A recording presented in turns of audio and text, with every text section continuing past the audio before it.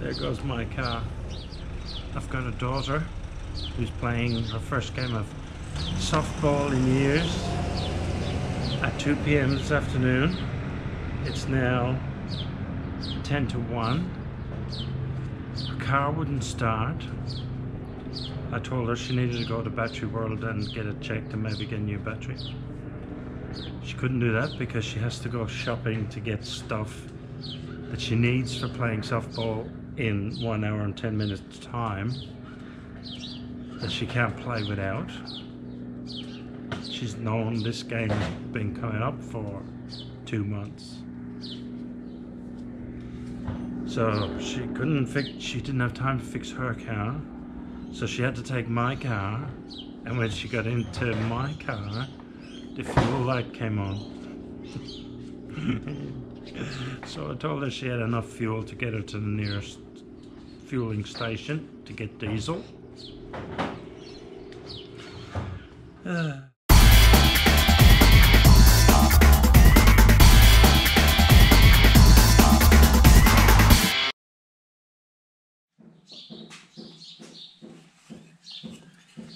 There's a couple of things I want to progress with today.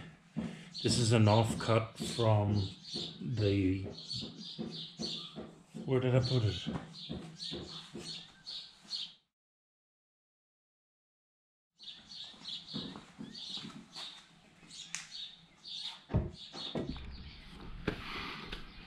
Right, the next job is to cut a tenon, the tongue part of mortise and tenon.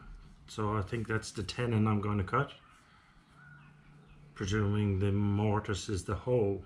Anyway, I'm going to cut a tongue joint tenon thingy on the end of the sign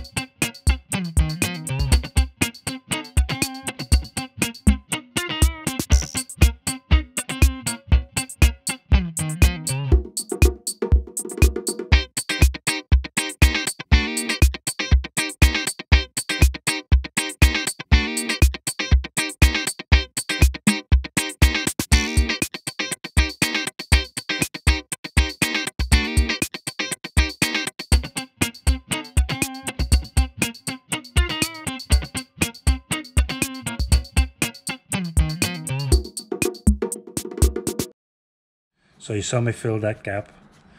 I did the same over here. But can you see the mistake I made? I've got the grain of the wood running in the wrong direction. Other than that, you probably wouldn't even know it was a, a repair. And this one, that grain is just about perfect. And that was accidental.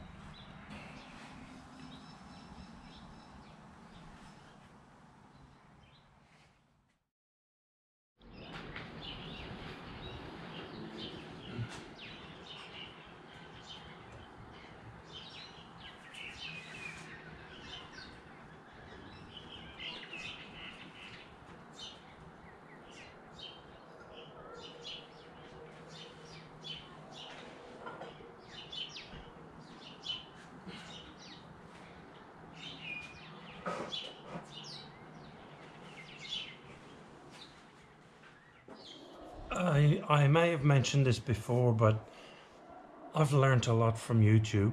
I learn a lot from YouTube. I watch YouTube videos every day. I watch two or three with breakfast and another two or three with lunch.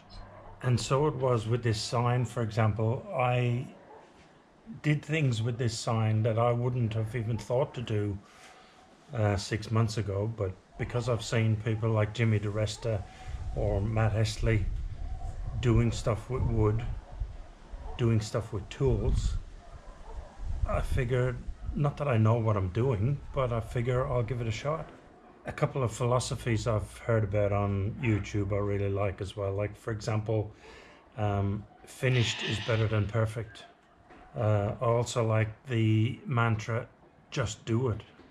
So when I get an idea in my head, I like to just do it, or at least just make a start because making a start is the best solution. Making a start is better than overthinking it. And so, likewise with this sign, just do it. Just get in there, start making it, see what happens. If it works out, great. If it doesn't work out, I've learned a lot along the way.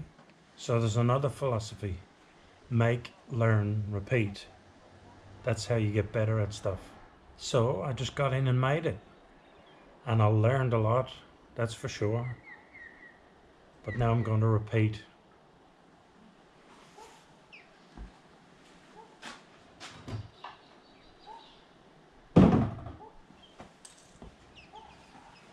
I've got another piece of that same wood. So I'm going to start again. This time I'm going to paint the letters on.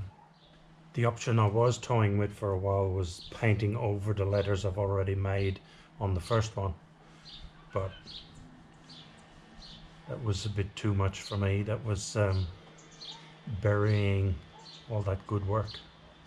The problem is there's no contrast between the letters and the wood.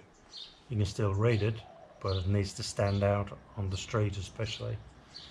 So I'll save that first effort, keep it inside my office at least uh, as a monument to my just do it philosophy. So I'm going to start again on the lettering. Not looking forward to all that sanding, but especially the sanding where you you have to sand to keep up with that music.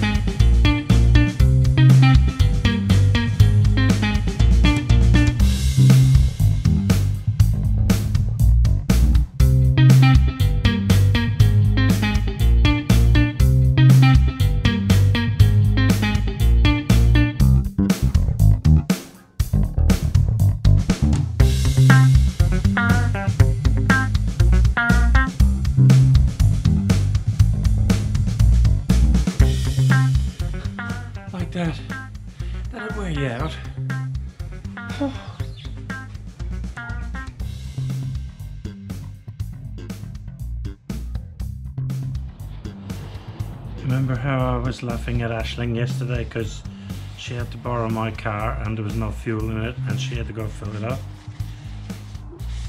Well, I'm not laughing anymore because she pranked it. Nothing serious.